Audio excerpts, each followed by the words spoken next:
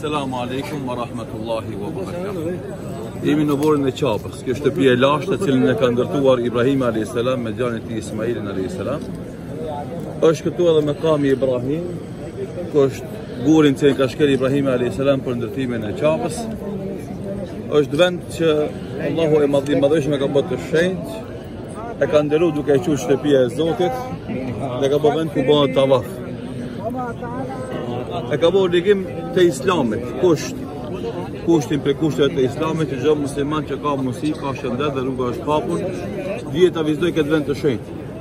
Të e të bëjnë të avafin, me urë dhe zotit dhe i falin dyre qartë e namaz pas me kam i Ibrahimit. Për nga meri sallahu alai u për bëjnë të avafin, vind të këtu pas me kam i Ibrahimit, falë të gjyre qartë e namaz, të dëndë të rekatin e parë, kërë i avrë kërë kërë kërë kërë kërë kërë kërë figur ka qenë ma për qapës. Kohën Omerit e ka larguar që, të të zjeron hapsirën për kota vafë.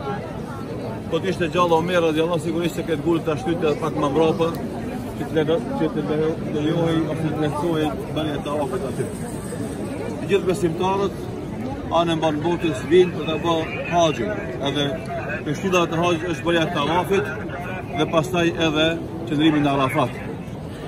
كنا تين شابن إبراهيم عليه السلام إثا الله في رينيز برهاج إثا إبراهيم عليه السلام وزاد سكا ومسيو تكيه تجف بوتن هاج فتي فيري أونه برسيل دلاء من تان إثا وأذن بالناس وأذن بالناس بحجية من قسايا للإمرأة برهاج نيز بين دوكن زيتو Dhe Allah e bëri dashur këtë vend për zemrat e besimtarëve. Dhe tha, duke bërë dua Ibrahim as për këtë dhe tha, "Waj'al afidat te nas tahwi ilayha" dhe bëj që zemrat e njerëzve të anojnë ka qafja.